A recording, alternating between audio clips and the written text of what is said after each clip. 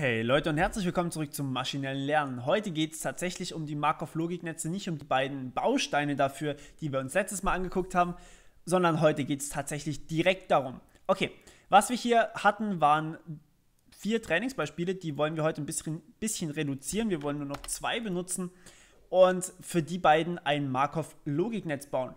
Achtung, wichtig ist jetzt hier, die beiden können auch irgendwie zusammen miteinander irgendwelche Funktionen haben. Das heißt, irgendeine Funktion wie Schüler und Meister oder sowas oder Padawan und Meister wären hier jetzt durchaus sinnvoll. Die würde ich jetzt aber tatsächlich mal nicht einfügen, sondern ich bleibe mal bei der hier und baue das ein bisschen um. Dann seht ihr, was ich damit ausdrücken möchte.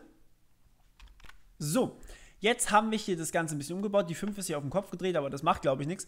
Und wir können hier tatsächlich das Ganze mal aufteilen, nämlich auch sagen, Jedi von Alice.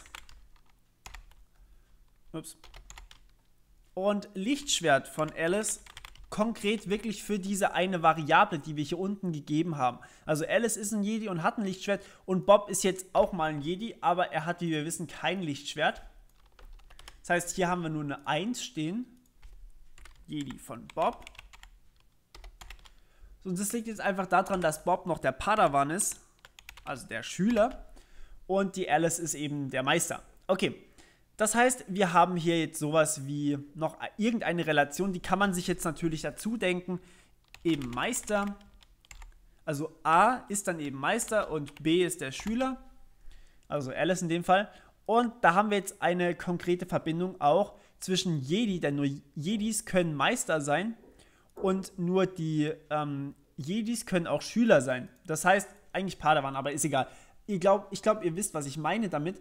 Die beiden haben dann auch wieder eine Verbindung. Das heißt, wir haben hier mehrere ja, Abhängigkeiten und können uns den Graph aufteilen, verschiedene Sachen hier anstellen mit zwei Variablen, mit einer Variable und das wird ein relativ groß, großer Graph werden, relativ schnell sogar.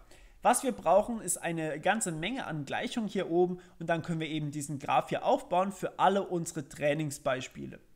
Gut, wie man diesen Graph aufbaut, dürfte in etwa klar sein. Einfach alles reinpacken und stopfen. Und wenn die Gleichung erfüllt ist hier oben, also wenn die jeweils passende Gleichung erfüllt ist, in dem Fall wäre es jetzt ähm, Meister impliziert Jedi von Alice und Jedi von Bob oder sowas, ähm, wenn diese Gleichungen erfüllt sind, dann müssen wir hier hohe Wahrscheinlichkeit, äh, Verbund- oder Potentialfunktionen angeben, damit nachher die Wahrscheinlichkeit auch groß wird und ansonsten eben eine relativ kleine.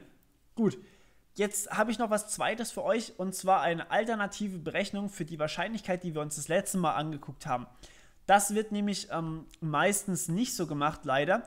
Meistens wird das Ganze über eine Exponentialfunktion gemacht, das heißt e hoch irgendwas und das möchte ich euch gerade mal zeigen. Was wir jetzt nämlich machen wollen, ist, wir wollen nicht tatsächlich für eine, ähm, eine einzige äh, eine einzige Variable hier, also zum Beispiel nur für Alice oder nur für Bob das Ganze berechnen, sondern wir wollen das tatsächlich dann machen ähm, für die ganze Welt. Also wie wahrscheinlich ist die komplette Welt, dass diese Welt stimmt. Also wir nehmen einfach mal an, Alice ist ein Jedi und Alice hat ein Lichtschwert und Alice ist der Meister von Bob und Bob ist ein Jedi und Bob hat kein Lichtschwert. Wie wahrscheinlich ist diese komplette Welt? Das heißt, wir nehmen das für alle an und wollen das natürlich dann am Ende auch vernünftig darstellen können. Okay, was man dann eben macht, ist folgendes. So, das ist die Formel. Ich glaube, ihr versteht auch, warum ich euch die nicht direkt an den Kopf geschmissen habe.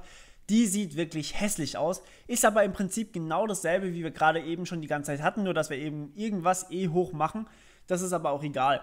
Ähm, also e hoch ist einfach nur eine Berechnung, dass man eben später den Logarithmus ziehen kann. Und weil wir den Logarithmus gezogen haben hier, denn w, ich schreibe das gerade nochmal als extra Formel hin, ähm, ups, wi ist nämlich der Logarithmus von phi i, also von, von phi, jeweils den passenden phi hier halt.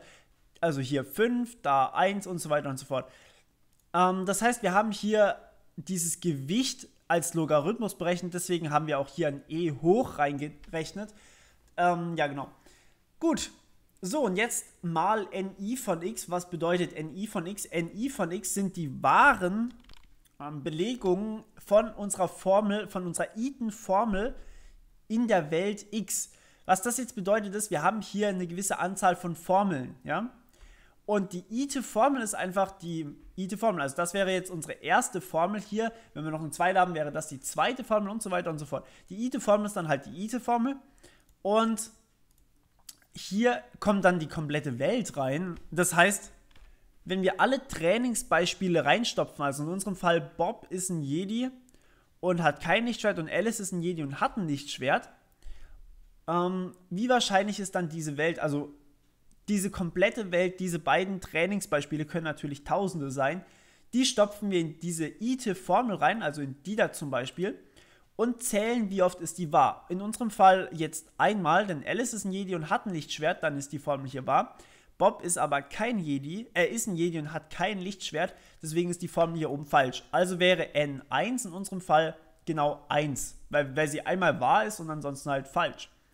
Und das Gewicht wäre für die ITE-Formel, ja, das wäre dann einfach hier der Logarithmus von 5 gewesen. Okay, wenn wir das aufsummieren hier, dann bekommen wir eben irgendeine Zahl raus. Und hier unten normalisieren wir einfach, indem wir über alle Welten drüber gehen sozusagen, also alle möglichen Welten, zum Beispiel auch die Welt in der Sekunde, in der wir wissen ja nicht, dass Bob kein Lichtschwert hat, das haben wir jetzt einfach mal nur angenommen in dem Fall ähm, sondern wir gehen hier auch einfach über die Welt drüber, in der Bob ein Jedi ist und ein Lichtschwert hat oder Bob ist überhaupt kein Jedi. Und dann ähm, teilen wir oder summieren wir diese ganzen Welten auf. Also es gibt ja hier ein paar mögliche Welten, nämlich um genau zu sein, wenn ich mich nicht vertan habe, 16 Stück. Das heißt, wir summieren hier über alle diese 16 Welten, die mit Jedi und Lichtschwert zu tun haben. Meister habe ich jetzt mal hier komplett außen vor gelassen. Über diese ganzen 16 Welten summieren wir einfach alles drüber und teilen dann eben unsere Formel mit genau diesem, mit genau derselben Berechnung.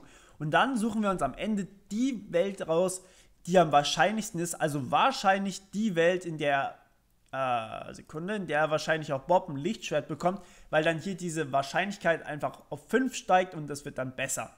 Okay, so sieht es dann also aus. So können wir das Ganze berechnen. Und ja, im nächsten Video zeige ich euch dann den Algorithmus, den wir benutzen wollen, um die beste Welt ausfindig zu machen. Habe ich im Prinzip schon ein bisschen vorweggenommen, aber macht nichts. Machen wir trotzdem. Okay, dann bis zum nächsten Mal und wir hören uns. Bis dann. Ciao.